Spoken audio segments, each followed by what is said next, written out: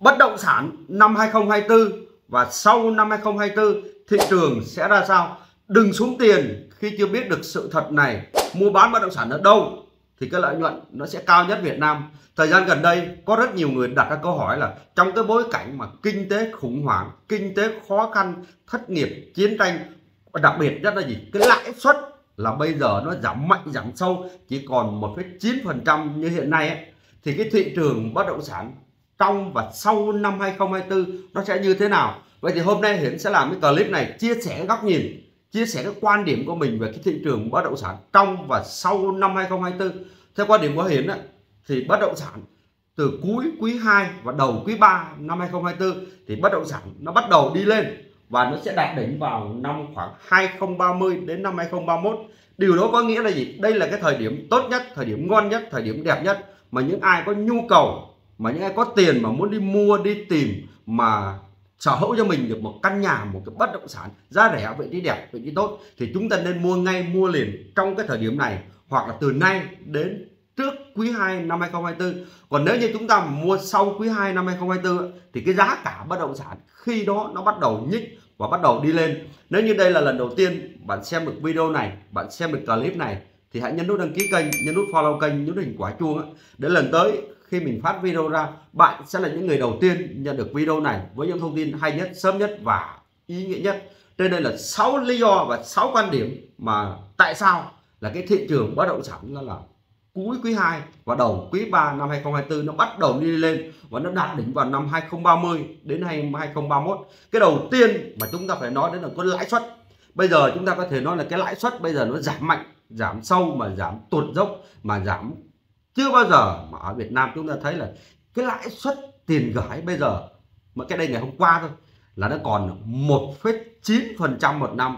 Nếu như mà chúng ta đi gửi tiền gửi tiết kiệm từ 1 đến 3 tháng còn nếu như bây giờ mà chúng ta đi gửi tiền gửi tiết kiệm tầm khoảng 12 đến 24 tháng thì lãi suất nó chỉ dưới 5% và đâu đó là đạt ngưỡng là 4,8% và chúng ta cũng biết rồi cái lãi suất huy động mà nó thấp như thế đó thì nó sẽ ảnh hưởng đến lãi suất cho vay. Bởi bình thường cái công thức mà tính lãi suất cho vay bằng lãi suất huy động một năm 12 tháng cộng với biên độ 3 đến 4,5% đó là công thức bình thường nó chưa kể là còn có những cái gói ưu đãi những gói kích thích để phát triển kinh tế hay hỗ trợ cho thị trường bất động sản hay hỗ trợ cho các loại hình kinh doanh khác. Còn nếu như mà chúng ta vay mà vay theo kiểu doanh nghiệp vay theo kiểu mà kinh doanh hộ gia đình hay là chúng ta có phép đăng ký kinh doanh ấy, thì cái mức lãi suất mà chúng ta vay nó còn thấp hơn. Và chúng ta cứ tưởng tượng mà xem, khi mà cái lãi suất tiền gửi nó quay về và đâu đó nó chạm đến ngưỡng là 4 hoặc là dưới 4 phần trăm, và cái lãi suất cho vay mà nó 6 đến 7 phần trăm, thì khi nó cái tình hình kinh tế,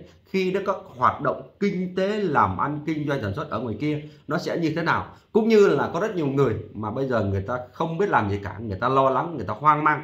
Bởi vì người ta sợ rằng biết đâu là mở ra làm ăn, buôn bán lại thất lại thất bại lại phá sản là mất tiền thì sao? Nên thôi chắc ăn là chọn cái giải pháp là mang tiền gửi tiết kiệm ra ngân hàng. Nếu mà có cái câu chuyện ở giữa cái lúc mà kinh tế cả nước khó khăn kinh tế thế giới khó khăn mà ở tiền gửi ở trong ngân hàng ở Việt Nam nó hơn 13,6 triệu hay đâu đó là 16 triệu tỷ đồng thì chúng ta cứ tưởng tượng nếu như cái số tiền này mà đã được luân chuyển hàng hóa nó được làm trong thị trường và được quay trong thị trường trong 2 đến 3 vòng ấy, thì chúng ta nghĩ đi cái công ăn việc làm rồi cái thu nhập rồi cái tình hình kinh tế Việt Nam lúc này nó sẽ như thế nào? Nên đây chính là cái mối chốt mà cái vấn đề quan điểm nhất. Bởi vì nếu như bây giờ mà cái lãi suất nó càng ngày càng giảm như thế mà trong khi cái lạm phát là 4 đến 5 phần trăm mà chưa kể cái tốc độ tăng giá của các mặt hàng ngoài kia nó càng ngày nó càng tăng theo. Điều đó có nghĩa là bạn giữ tiền ở nhà bạn cắt tiền chắc chắn là bạn sẽ mất tiền. Còn bạn mang tiền gửi đi, đi, đi gửi tiết kiệm ở ngân hàng thì thực ra bạn được có một ít tiền lời nhưng cái đồng tiền của bạn càng ngày nó càng mất đi giá trị cũng như chúng ta biết là cái thời gian gần đây là giá vàng tăng dốc một tăng tốc một cách chóng mặt. Và cái, cái sự mà dao động giữa cái giá vàng Việt Nam và cao hơn giá vàng thế giới. Nên có những cái thứ mà chúng ta cũng không có thể giải thích là lý do và nguyên nhân tại sao. Cũng như là có thông tin là trong năm 2024 thì Fed cục dự trữ liên bang Mỹ sẽ giảm lãi suất và sẽ quay về cái ngưỡng trước đó là tăng lên 5,5% và chúng ta cứ tưởng tượng mà xem khi mà Fed cục dự trữ liên bang Mỹ cái đồng đô la và cái lãi suất nó giảm xuống thì các nước người ta đã bắt đầu kinh doanh bắt đầu đầu tư bắt đầu là nghĩ đến chuyện hoạt động sản xuất hay là mua bán. Thì khi đó có phải là hàng hóa khi đó phải là công việc mọi thứ được trôi chảy. Mà khi người ta bắt đầu có tiền thì cũng như ở Việt Nam khi mà người ta có tiền thì người ta bắt đầu người ta bắt đầu nghĩ đến cái chuyện là đầu tư cái gì? Có thể là mua vàng, mua chứng khoán, đồng tiền kỹ thuật số, phát triển bản thân, hay là đầu tư bất động sản. Đó chính là lý do tại sao ở Việt Nam người giàu là người liên quan đến bất động sản, hay là người liên quan đến bất động sản thì sẽ giàu. Và trong tâm lý sâu thẳm của người Việt Nam dù có khó khăn như thế nào đi chăng nữa, thì là cha là mẹ thì cũng là có đất đai, có tài sản, tích lũy lại cho con, cho cháu sau này. Đó cũng chính là một lý do mà khi cứ có tiền thì người ta nghĩ đầu tiên là người ta nghĩ đến mua đất mua nhà, mua bất động sản để tích sản, để sở hữu. Và cái thứ hai đó là chính sách. Chính sách của nhà nước, chính sách của địa phương để phát triển kinh tế. Như chúng ta cũng biết là GDP của Việt Nam năm 2022 là đạt 409 tỷ đô la. Và năm 2023 thì dự kiến sẽ đạt là 426 tỷ đô la. Và chúng ta cũng thấy là giữa cái lúc mà bối cảnh kinh tế các nước nó khó khăn, kinh tế khủng hoảng, chiến tranh, thất nghiệp khắp nơi nơi, mà cái GDP của Việt Nam và cái giá trị nó vẫn tăng được như thế này, thì các bạn cứ tưởng tượng đi, sau năm 2024 trở đi, khi các hoạt động kinh tế sinh sôi nảy nở trở lại, thì kinh tế Việt Nam sẽ phát triển như thế nào? Cũng như chúng ta biết là mấy năm về trước thì Việt Nam đã có một cái chiến lược đó là gì? Sẽ trở thành một con rồng ở châu Á, hay là có rất nhiều tờ tạp chí và tờ báo nước ngoài đánh giá rất cao. Việt Nam là trong năm 2030 hay là đến năm 2020 thì cái tầm và kinh tế Việt Nam nó sẽ đứng ở những vị thế như thế nào so với các quốc gia, so với trên thế giới. Cũng như là chúng ta biết rồi là các chính sách và đặc biệt là chính sách dành cho thị trường bất động sản trong thời gian gần đây đã có rất nhiều điều thay đổi, như là luật kinh doanh bất động sản và nhà ở, hay có thể trong năm 2024 này, sớm hay muộn, cái luật đất đai nó cũng được thông qua. Chính vì có những chính sách thay đổi như thế này nó làm cho cái nhu cầu đầu tư, nó làm cho chi phí, nó làm cho thuế phí, cũng như là cái câu chuyện người ta đi đầu tư bất động sản trong thời gian này và thời gian tới nó sẽ thay đổi rất nhiều. Và đặc biệt là trong cái năm 2024 từ nay đến khoảng quý 2 năm 2024 này, còn nhiều người còn chần chừ. Nhưng mà sau khi mọi thứ nó được sáng tỏ, sau khi mọi thứ nó được rõ ràng hơn, thì cái nhu cầu và cái lượng người ta bắt đầu đi tìm, đi mua bất động sản càng ngày nó sẽ càng nhiều hơn. Và cái thứ ba đó là gì? Cái đầu tư FDI cái nguồn vốn nước ngoài nó bắt đầu nó phát huy tác dụng. Thì chúng ta cũng biết là trong năm 2023 năm 2022 thì Việt Nam chúng ta đón rất nhiều các quốc gia rất nhiều tập đoàn rất nhiều các tổng thống rất nhiều các văn kiện giống như là đối tác chiến lược toàn diện hay là uh, chia sẻ tương lai có rất nhiều thứ nó xảy ra như thế. Thì tất nhiên sau khi mà các nước các quốc gia các thủ tướng các tổng thống các tổng bí thư hay là các chủ tịch các tập đoàn đến thăm Việt Nam thì người ta về người ta cũng phải họp người ta lên chiến lược kế hoạch. Thì đâu đó khoảng giữa năm 2024 trở đi thì câu chuyện, những cái đồng vốn FDI những cái văn bản ký kết, những cái nhà máy, những cái phương tiện, những kỹ thuật bắt đầu đổ bộ vào Việt Nam. Và khi chúng ta nghĩ đi, bắt đầu đổ bộ Việt Nam thì là tạo ra công an việc làm, tạo ra hàng hóa không? Tạo ra các nhu cầu khác không? Và chúng ta cũng phải biết rằng gì? Thập niên bây giờ và kỷ nguyên bây giờ, đó là công nghệ, nó là online, nó là bán dẫn, nó là chip, nó là vi mạch điện tử. Cũng như cái lõi của cái đó là đất hiếm. Việt Nam chúng ta là quốc gia có trữ lượng đất hiếm lớn thứ hai thế giới. Không phải ngẫu nhiên mà tại sao những năm về trước các quốc gia này không đến thăm Việt Nam mà không đặt nhiều vấn đề là làm ăn đến như thế? Mà ngay cái thời điểm này người ta lại chú trọng và chú ý đến điều đó như thế. Bởi vì sao? Chúng ta nắm cái lõi của nó là đất hiếm nên ai người ta cũng mong muốn và muốn điều đó. Cũng như là gì? Ở cái định hướng của Việt Nam đến năm 2030 năm 2050 ấy, là phát triển về công nghiệp hiện đại công nghiệp hiện đại, kỹ thuật cao, chất xám và giá trị cao. Đó chính là sự thay đổi lớn nhất so với chúng ta cái đây 10 năm về trước. Cái đây 10 20 năm về trước khi mà kinh tế Việt Nam mở cửa và khi mới có các khu công nghiệp thì chúng ta cũng biết rồi.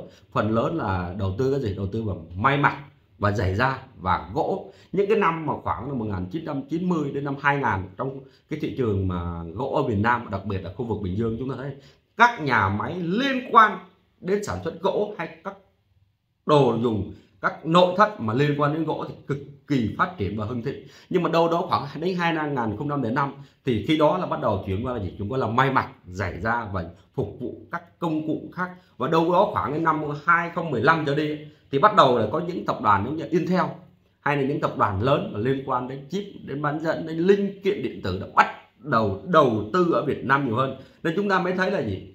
Cái tầm nhìn, cái chiến lược cái định hướng phát triển của nhà nước của chính phủ của địa phương thì nó mới quyết định là kinh tế Việt Nam kinh tế khu vực đó thời gian tới cái thời điểm tới là nó là như thế nào. Nên đến ngay cái điểm này này thì anh em chúng ta có thể biết này, chúng ta sẽ mua bán bất động sản ở đâu thì nó sẽ đạt được cái lợi nhuận cao nhất. Chúng ta cũng biết này đất hiếm đó là cái lõi trong kỷ nguyên này mà ở nơi nào là có đất hiếm nhiều nhất. Tất nhiên ngoài các chuyện có đất hiếm ra thì nơi đó còn phải liên quan đến gì? Xuất nhập khẩu thì phải liên quan đến cảng biển liên quan đến sân bay quốc tế liên quan đến cao tốc liên quan đến các khu công nghiệp nó có đặt tiêu chuẩn để mà người ta đặt nhà máy ở đó hay không? Và cái thứ tư đó là đầu tư công kết nối các vùng miền. Cái thời ờ, điểm mà từ khi mà thủ tướng chính phủ phạm minh chính lên ngôi ấy, thì chúng ta có thể thấy là Việt Nam phát triển rất nhiều quan tâm đến phát triển cơ sở hạ tầng mà đặc biệt nhất đó là cao tốc và chúng ta cái đấy mà xem. Hàng xóm chúng ta gần đây là Thái Lan, người ta có hệ thống cao tốc cái đây khoảng 50 năm, hay là Hàn Quốc, hay một số quốc gia khác. Người ta không phải đi với cái tốc độ rùa bò là 30 40 hay 60 km một giờ, mà 100 140 thậm chí là 200 km một giờ. Thì chúng ta cứ tưởng tượng mà trong cái tốc độ luân chuyển hàng hóa, thì đồng nghĩa việc là tốc độ luân chuyển và quay vốn của đồng tiền khi mà hàng hóa chuyển từ cảng biển vào nhà máy nó nhanh hơn, từ nhà máy đi cảng biển lên tàu nó nhanh hơn, đi sân bay các nơi nó nhanh hơn, thì chúng ta cứ nghĩ đi, các công ty đầu tư nước ngoài người ta mới dám đến đầu tư của chúng ta như thế? Hay có một số từ mà người ta dùng nó làm ổ, làm tổ cho đại bàng người ta mới đến? Bởi vì sau khi mà các công ty, các tập đoàn, các quốc gia người ta đến kiểm tra, người ta tham quan, thì người ta cũng thấy là cơ sở hạ tầng anh có đạt không? Anh có đủ điều kiện hay không? Thì người ta mới bỏ tiền đầu tư được. Còn nếu như mà khi người ta đến, đến đầu tư người ta mang cả hàng tỷ đô la hàng triệu tỷ đô la đến đầu tư mà anh chưa có cơ sở hạ tầng gì thì lấy cái gì mà người ta đầu tư người ta có thể chờ được không? Không. Bởi vì cái câu chuyện phát triển cơ sở hạ tầng nó không phải là một năm hai năm. Hay đơn giản chúng ta thấy cái vụ mà sân bay quốc tế Long Thành đã triển khai và đã có ý tưởng ở đây là 10 15 20 năm trước nhưng bây giờ đã triển khai được bao nhiêu lâu? Và khi nào cái sân bay quốc tế Long Thành nó nó mới đi vào hoạt động? Chứ bây giờ cái câu chuyện làm thì là làm thôi. Nhưng mà khi mà đạt tiêu chuẩn để mà nó cất cánh, để mà nó hoạt động thì không phải là ngày một, ngày hai. Nó có thể là 5 năm, có thể là 10 năm, có thể là 20 năm hoặc lâu hơn thế nữa. Và cái thứ năm đó là gì? Đó là sự thay đổi về cách đầu tư, cách đầu cơ của các nhà đầu tư so với kỷ nguyên và thập nguyên trước đây. Trước đây thì có những nhà đầu tư mà người ta ờ, độ tuổi khoảng những năm 50 60 70 hay 80 về trước thì người ta đầu tư và người ta kiếm được rất nhiều tiền bởi vì cái thời điểm đó cái mô hình đầu tư bất động sản nó cũng khác cái cách làm nó cũng khác.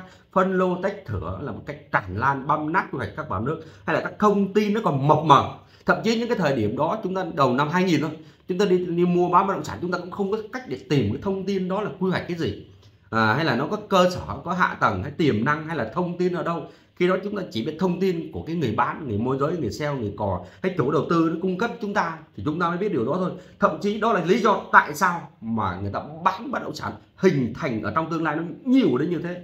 Và bây giờ có rất nhiều người làm băng rôn, căng băng rôn đòi nhà đòi cửa đòi sổ đòi đất đai, đòi lại tiền nhưng không biết đòi ở đâu. Bởi vì ông chủ đầu tư nó có thể là không còn đi có đời nữa. Hoặc ông chủ đầu tư là đi mỹ này, đi cam này, đi nước ngoài đi đức rồi hay đi bất kỳ một quốc gia nào khác rồi. Mà khi đó chúng ta mua thậm chí có những người không mua trực tiếp từ chủ đầu tư mua qua sản hay là mua qua môi giới hay mua qua dịch vụ tất cả mọi thứ. Và bây giờ sao? Chúng ta đến lúc chúng ta không có đất không có nhà chúng ta đi đòi thì chúng ta biết đòi ở đâu và đòi ai trong cái thời điểm này. Và cái thứ sáu đó là gì? Đây là một cái giai đoạn mà điều cực kỳ quan trọng mà nó quyết định tại sao người ta lại cảm thấy tự thoải mái và người ta cảm thấy được an tâm hơn. Là bây giờ những cái nhà đầu tư, người dân, người tiêu dùng được bảo vệ quyền lợi nhiều hơn. Thông qua cái luật kinh doanh bất động sản nhà ở thì chúng ta có thấy rất nhiều điều rất là hay. Giống như là gì? À là chỉ chủ đầu tư chỉ được nhận 5% tiền cọc trên giá bán, hay là chủ đầu tư mà muốn bán phải hoàn thành các nghĩa vụ tài chính và thông tin pháp lý phải minh bạch cũng như là anh phải có tài chính, anh phải có đối ứng, phải có tiền để chứng minh cái năng lực của anh có khả năng triển khai không, thì anh mới được làm. Điều đó có nghĩa là gì? Muốn bán được là anh phải có pháp lý, anh phải có sổ đỏ, anh phải có hoàn thiện, thì anh mới bán được. Còn không, cái câu chuyện là bán bất động sản, nhà ở hình thành trong tương lai. Nên đây là một cái bước thanh lọc cho thị trường bất động sản thanh lọc cho những chủ đầu tư với những đơn vị, những công ty, những tập đoàn làm ăn mà bất nhân thất đức, không có trách nhiệm, chỉ tìm cách là lấy tiền của các nhà đầu tư, lấy tiền của khách hàng mà không lo là gì à sổ, sách đâu, không lo nhà cửa đâu, không lo làm cơ sở hạ tầng. Đến cái câu chuyện mà chúng ta thấy phổ biến là hầu như là người ta kết hợp với một số đơn vị, một số người, bắt đầu là người ta lấy đất của dân. Có thể lúc đó là một xào, người ta chỉ đền bù 50 triệu hay 80 triệu thôi.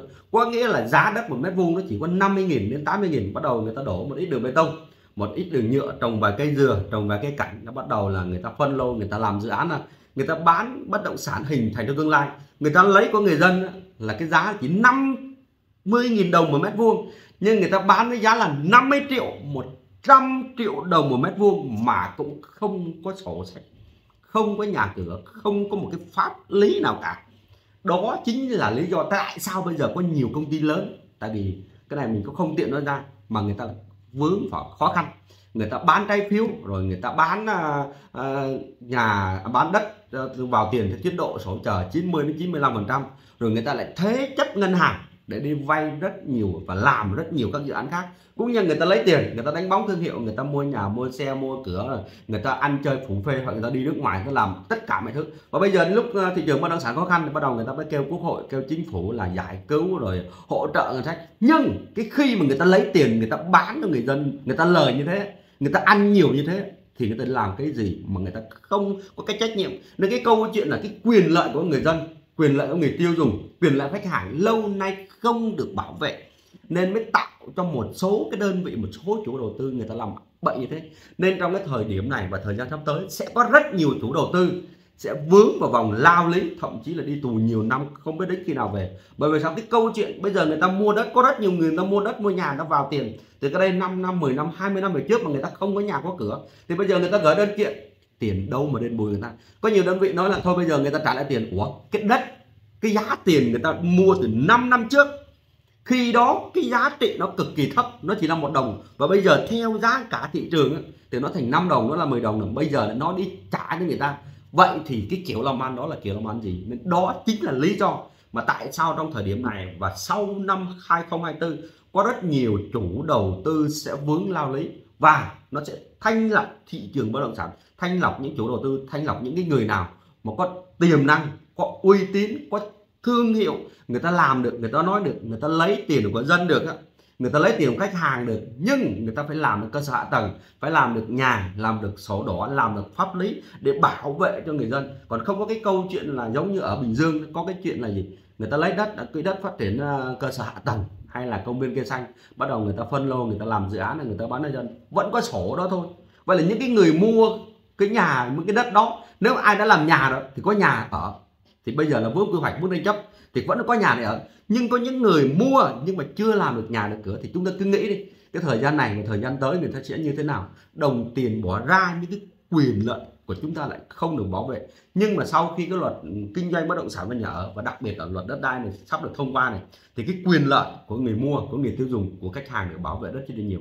Cũng như là trong đó là có một chi tiết cực kỳ hay, đó là ảnh hưởng trực tiếp đến những ông làm môi giới, làm cò, làm sale nó lại phải có chứng chỉ hành nghề thì mới được hành nghề. Và đặc biệt nữa là người ta phải hoạt động trong một công ty kinh doanh đầu tư bất động sản, một sàn giao dịch bất động sản hay một văn phòng bất động sản. Mà đặc biệt những cái người đó là người ta phải tốt nghiệp phổ thông, người ta phải tốt nghiệp hết lớp 12 tốt nghiệp cấp 3 thì người ta mới đủ điều kiện đi học để lấy cái chứng chỉ hành nghề đó có giá trị trong vòng 5 năm trời. Cũng có nghĩa là gì? Thời gian tới trên thị trường sẽ thanh lọc một phần lớn những sale, những cò những môi giới không đạt tiêu chuẩn không có thể hành nghề được. Đó là cái điều đương nhiên và đó là điều tất nhiên. Bởi vì sao? Người ta làm là dịch vụ liên quan đến bất động sản, nhưng người ta lại không hiểu về pháp lý. Người ta không chịu trách nhiệm cho người mua, không chịu trách nhiệm cho người bán, cũng như là không chịu bất kỳ cái vấn đề gì. Nếu như có xảy ra tranh chấp, xảy ra kiện cáo hay là xảy ra quy hoạch, người ta cũng không bảo vệ được cái quyền lợi cho khách hàng, quyền lợi cho người bán, quyền lợi cho người mua. Và đặc biệt hơn nữa, người ta có thu nhập mà, người ta có hoa hồng người ta cũng không đóng thuế thu nhập cá nhân chính vì cái điều đó nó làm cho thị trường bất động sản lúc này hỗn loạn. Nên bây giờ nhiều người nói cái câu là gì? Bán cắt lỗ giảm giá, không ai mua, bán đổ bán thóc ủa, ngay cái thời điểm mà cái giá bất động sản lên thì đẩy lên cho nó cao thế. Đẩy làm gì? Cho nó nhiều thế. Nên bây giờ bán không được, nếu không bán không được, bắt đầu là tìm cách ép chủ nhà, đè chủ nhà ép chủ nhà, để chủ nhà này giá này không được đâu, phải giảm nữa. Và thậm chí các ông hàng xóm mà giảm nó còn 5 đồng thì phải nói cái ông kế là phải giảm còn 3 đồng, còn được 4 đồng, còn 2 đồng thì mới bán được. Với cái kiểu làm ăn như thế thì các bạn nghĩ cái thị trường bất động sản Việt Nam nó có tồn tại được không? Nên chính vì cái, những cái chính sách thay đổi trong năm 2024 và sau năm 2024 như thế này, nó làm cho thị trường bất động sản Việt Nam càng ngày càng minh bạch hơn. Và cái mô hình đầu tư kinh doanh hay cái kênh đầu tư bất động sản, nó cũng trở thành một kênh đầu tư như bao ngành nghề khác. Nó cũng có cái lợi nhuận nó vừa phải thôi, không có cái câu chuyện là mua một năm, lướt cọc lướt sóng sáng mua một tỷ, chiều bán tỷ rưỡi, tối bán 2 tỷ. Hay là một ngày một lô đất bán 5 đến 10 lần sang tay.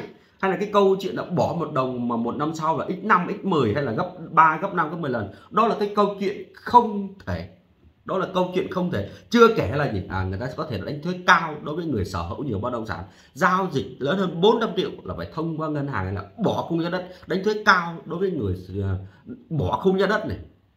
Thay thế bằng bảng giá đất hay là gì? Là áp dụng hệ thống căn cước công dân gắn chip dữ liệu dân cư và nó thành là thẻ căn cước. Thì tất cả những thông tin về khách hàng. Thông tin về người dân chúng ta mua nhiêu, chúng ta bán bao nhiêu, tài sản chúng ta có bao nhiêu.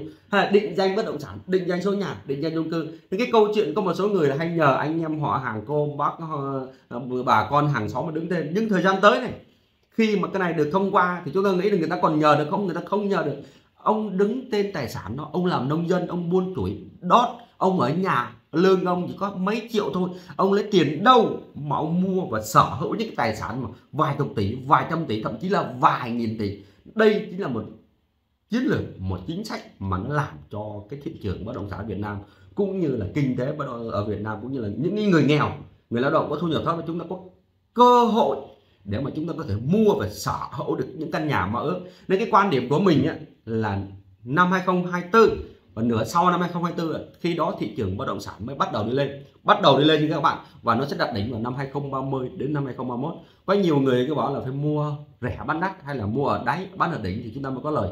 Nhưng mà thực sự là cũng không có ai có thể bắt đáy được, cũng không có ai bán ở đỉnh được. khi nào mà chúng ta thấy cái giá cả nó hợp lý, mà nó rẻ, mà hợp lý với chúng ta, thì chúng ta đi mua. Và khi nào chúng ta thấy mà à cái thị trường đi lên nó nóng sốt và chúng ta đạt được cái mục tiêu chúng ta đề ra rồi đó thì chúng ta nên ra cái giá trị bất động sản đó. Cũng như khi chúng ta mua bán bất động sản, đặc biệt nhất là nó phải có pháp lý, nó phải có sổ đỏ nó phải có sổ đỏ, nó phải có thổ cư, nó phải có đường đi lại, nó phải có đường điện, nó phải có là dân cư hiện hữu, nó phải công ăn việc làm, nó có tiện ích. Nơi nó phải có tiền mà cái bất động sản đó chúng ta phải có cái khai thác được có thể là làm nhà để ở được có thể làm nhà cho thuê được có thể là kinh doanh bất kỳ một ngành nghề gì đó được mà thuận tiện đi lại đến tất cả các nơi thì những cái bất động sản đó cái giá trị bất động sản nó nó mới tăng được.